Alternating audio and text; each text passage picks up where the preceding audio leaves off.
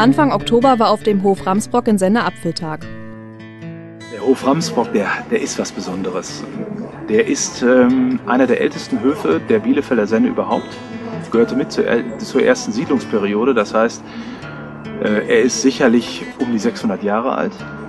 Ähm, er hat ein, ein ähm, Gebäudeensemble, das komplett denkmalgeschützt ist. Ein Ensemble, wie es, glaube ich, im Bielefelder Süden nicht ein zweites Mal gibt. Apfeltag ähm, bedeutet, wir versuchen auf das Thema Streuobstwiese, artenreiche Streuobstwiesen, äh, auf Sortenvielfalt von Obstsorten einen Fokus zu legen, einen Spot zu bringen, um dieses Thema näher zu beleuchten und den Leuten zu erzählen, was für Besonderheiten und was für Juwele diese Streuobstwiesen ausmachen.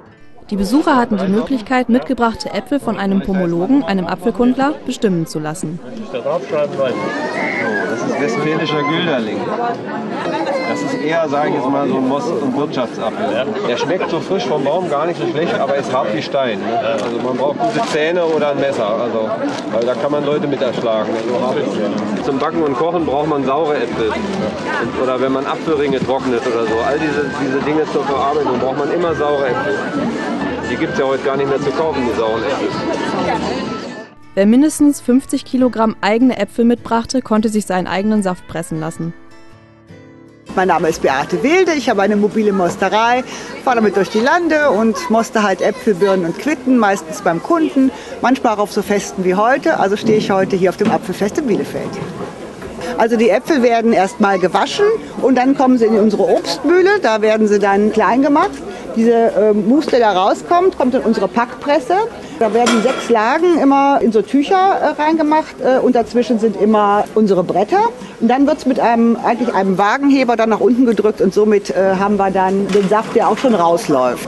Durch eine Filteranlage läuft das Ganze und eine Pumpe in meinen Pasteur. Im Pasteur wird es dann erhitzt auf 78 Grad und wird dann direkt abgefüllt in diese Back-in-Boxen. Das sind also so Beutel, die sind schön steril, also läuft es direkt rein, kommt in so eine Umverpackung und dann kann es der Kunde direkt mitnehmen.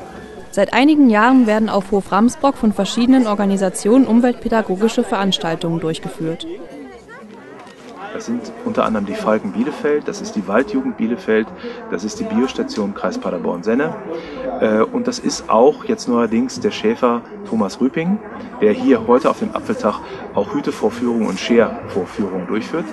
Ziel ist es, durch diese kontinuierliche Umweltpädagogikarbeit Stadtkinder, Bielefelder Stadtkinder an Natur, ja, ich will nicht sagen zu gewöhnen, aber zumindest mit Natur zu konfrontieren, ihnen äh, die Möglichkeit geben, Natur zu erfahren und zu begreifen im wahrsten Sinne des Wortes.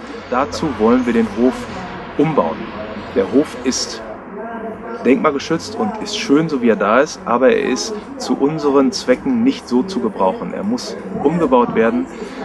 Es muss hier Geld reinfließen, er muss auch kindgerecht umgebaut werden. Wir brauchen hier eine Toilettenanlage, wir brauchen eine Küche, wir brauchen eine Renovierung des, des Hauptgebäudes und das kostet Geld.